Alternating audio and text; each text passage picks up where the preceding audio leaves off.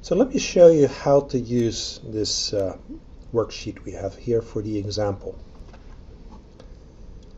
Here we have the matrix and we have a column in which we're going to keep track of how the matrix has been updated. We have a column where we're going to indicate the pivot matrix that needs to be applied and we have a column where we indicate the Gauss transform that we're going to use.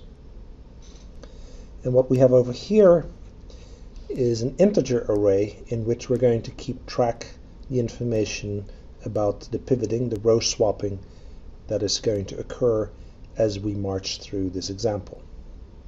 Now, notice that a PDF with this worksheet uh, is available in this unit, and I suggest that you print out a couple of copies of this. Okay, so we start with this matrix right here. And the first thing you ask yourself is, do we need to pivot in order to make sure that this entry on the diagonal, this first entry right there, is not a zero? And in this particular case, the answer is no, it's already not a zero, so therefore we can leave it alone. So the permutation matrix that we then want to use is simply the, the identity. The identity is a special case of the permutation matrix. And whenever I don't write a number down, it means that it's zero. Now, to capture the fact that this current row did not have to be swapped with any other row, in this vector over here, this is a small p, lowercase p, what we want to indicate is that the current zeroth row, which is the row with which we're working, has to be swapped with the row with index 0 relative to that. And that's why we put a 0 there. Now notice that this pivot matrix we don't actually need to store at all because all we need to know is with, with what row we need to swap. So then we go on and we say okay the matrix after pivoting is then simply that matrix because nothing changed. So we fill that out over here. And notice the order in which we fill things out.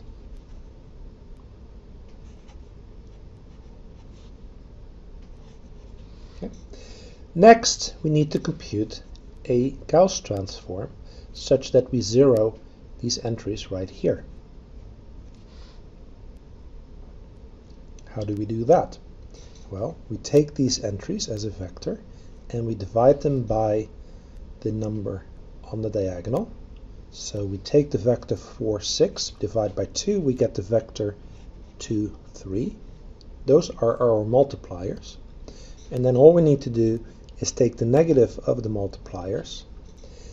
And when we now multiply this Gauss transform times the matrix, what we know is that this introduces zeros right here. We know that the first row is left alone. And what else do we know? Well, we know that this 8 has to be updated by doing minus 2 times 4 and adding that to 8. Minus 2 times 4 is minus 8. Add that to 8.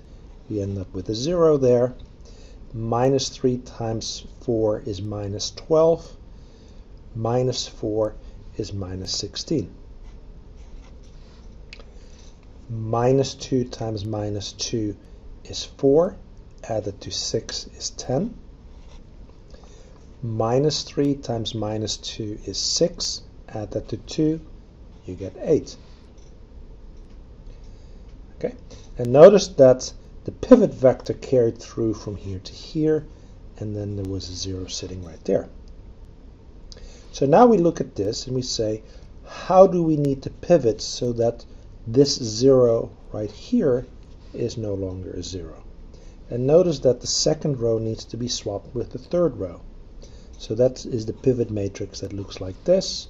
And if you want, you can put a 1 here and put zeros everywhere else. And that is the permutation that represents how the rows need to be rearranged. Now, notice that we call at this point this row 0 because that's the current row. and this row 1. So this is row 0 and row 1.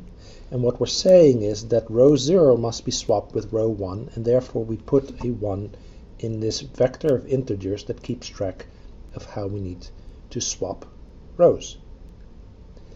At that point, we know that this matrix becomes min uh, 2, 4, minus 3. We now swap the last row with the second to last row, and therefore we get 0, minus 16, and 8.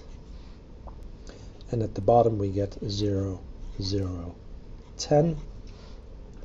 And we carry down the vector that tells us how to pivot. Then we ask ourselves, what should the Gauss transform be to place a zero right here? And that Gauss transform has to be 0 divided by minus 16, which is just minus 0. And then our final upper triangular matrix becomes this right here.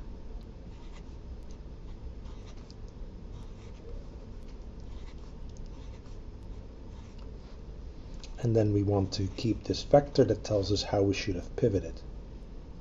Now, we probably should have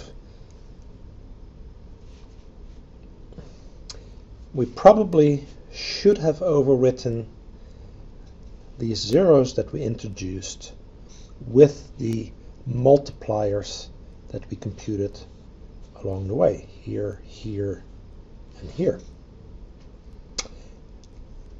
Had you done that, it would have been very important to notice that we not only swapped these two rows, but we also swapped the multipliers that would have been stored there.